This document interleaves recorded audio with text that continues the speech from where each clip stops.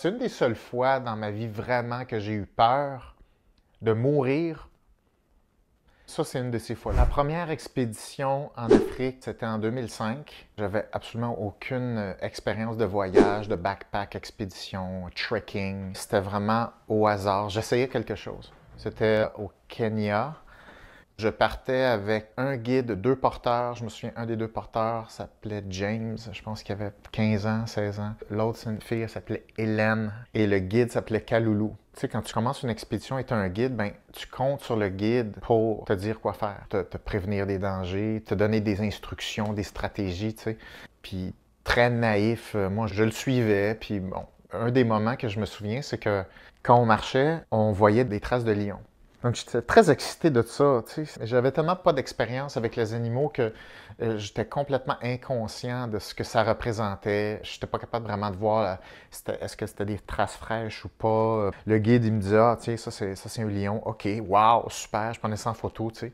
On est à pied comme ça. On n'a pas d'armes, rien. On n'a pas de stratégie. Je me souviens que cette soirée-là, c'était assez ouvert et il y avait comme quelques buissons regroupés.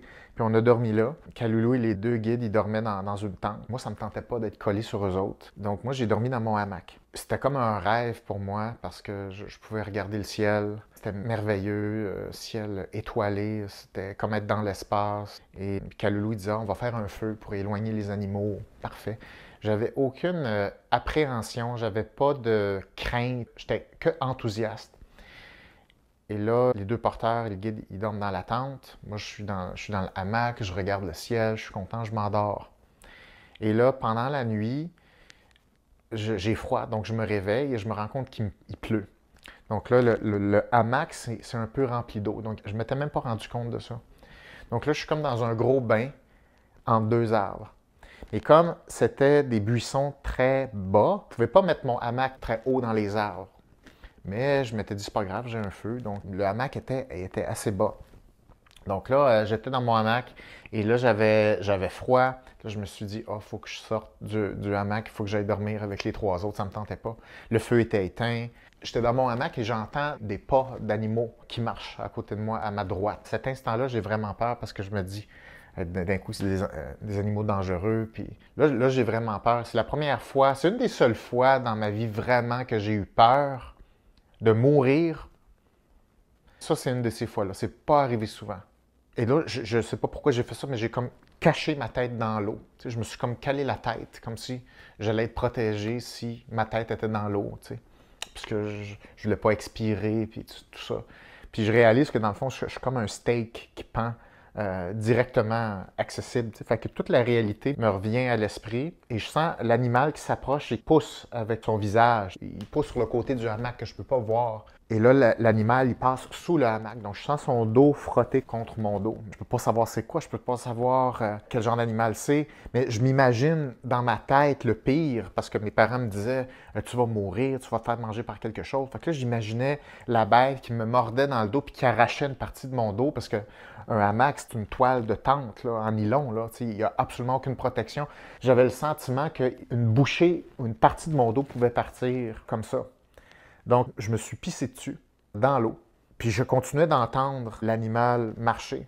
Puis je, sortais juste un peu ma bouche pour essayer de prendre des respirations. Puis je, me recachais la tête.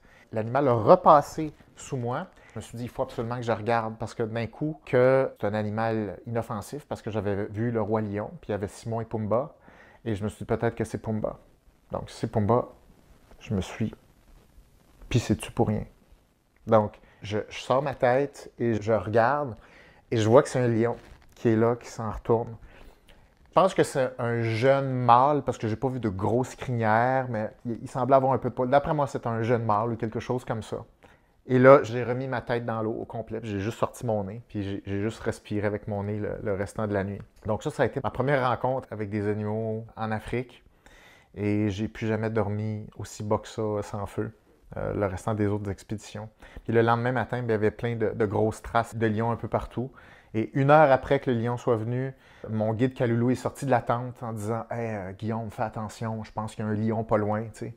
Mais il, était toujours comme un peu en retard. Il n'était jamais capable de prévenir les affaires. Fait que j'étais comme Oui, je sais. Fait qu'il a rallumé le feu, puis là, ça a été correct le restant de la nuit, mais j'ai, j'ai pas été capable de bouger.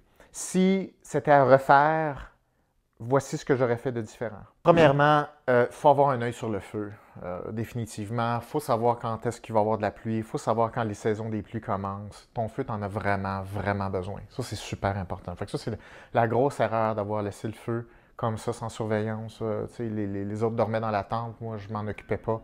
L'autre erreur, c'est, j'ai pas le souvenir les traces, ils menaient où, les traces de lion que j'avais vues dans la journée. Est-ce qu'on s'en allait dans la même direction? Est-ce que c'était un mâle? C'est-tu ce mâle-là? Quand tu dors à quelque part, il faut que tu investigues un peu les lieux. Est-ce qu'il y a des traces qui sont déjà fréquentes?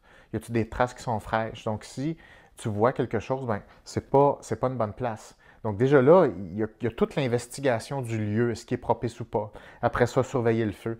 Après ça, ben, j'aurais pas dormi dans un hamac parce qu'on n'avait pas d'arme à feu, on n'a rien. Moi, j'aurais fait euh, peut-être une petite clôture là, avec des, euh, espèces d'arbustes secs. Euh, déjà là, c'est suffisamment dissuasif normalement, puis ça fait suffisamment de bruit. il y a plein de petites précautions que j'aurais fait. Mais là, avant ça, ben, c'était complètement l'inconnu, puis je comptais sur Kaloulou, mais lui, il n'était pas plus stressé que ça.